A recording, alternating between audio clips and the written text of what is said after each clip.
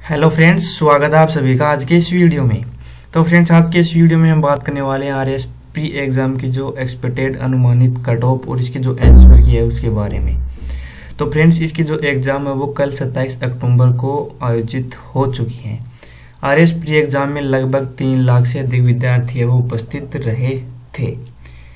वहीं हम इसकी जो कट ऑफ़ के बारे में बात करें तो इसकी जो कट ऑफ़ है वो कैटेगरी वाइज दी हुई है। जनरल कैटेगरी की बात करें तो 70 से पिचहत्तर के बीच में इसकी जो कट ऑफ़ है वो रह सकती है। एससी की बात करें तो पैंसठ से सत्तर के बीच में जो इसकी कट ऑफ़ है वो रह सकती है। एसटी की बात करें तो 60 से पैंसठ के बीच में जो इसकी कट ऑफ़ है वो रह सकती है।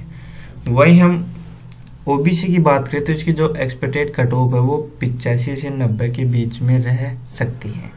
तो फ्रेंड्स ये जो कट ऑफ़ है वो एक्सपेक्टेड अनुमानित आधार पर बताई गई है।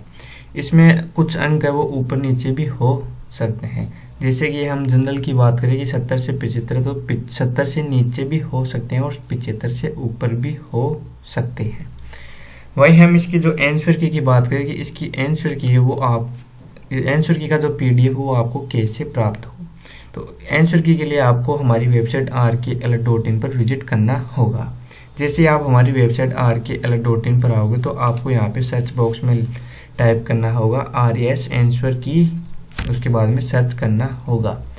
जैसे ही आप सर्च करोगे तो इस प्रकार से जो नया पेज है, वो ओपन हो जाएगा। उसके बाद में आपको यहाँ पे क्लिक करना है आर एस एंसर की दो हज़ार इक्कीस पी डाउनलोड तो आपको यहाँ पे क्लिक करना है। तो उसके बाद में नया पेज है, वो ओपन हो जाएगा। उसके बाद में आपको थोड़ा सा स्क्रॉल डाउन करना होगा। जैसे आप थोड़ा सा स्क्रॉल डाउन करोगे तो जो ऑफिशियल वेबसाइट का जो डायरेक्ट लिंक है वो आपको यहाँ पर मिल जाएगा।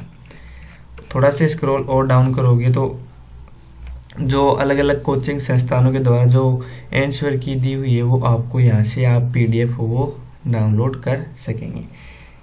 और ये आंसर की है वो आप अलग अलग कोचिंग संस्थानों के अनुमानित आधार पर दी हुई है। वही हम इसकी जो लेटेस्ट अपडेट की बात करें कि इसकी लेटेस्ट अपडेट वो भी आपको हमारी website R K alert dot in से देखने को मिल जाएगी।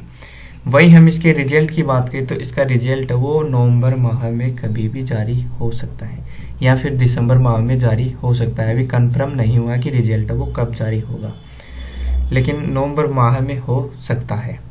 और दोस्तों, आप हमें सरकारी नौकरी की लेटेस्ट अपडेट के लिए हमारा टेलीग्राम ग्रुप भी ज्वाइन कर सकते हैं।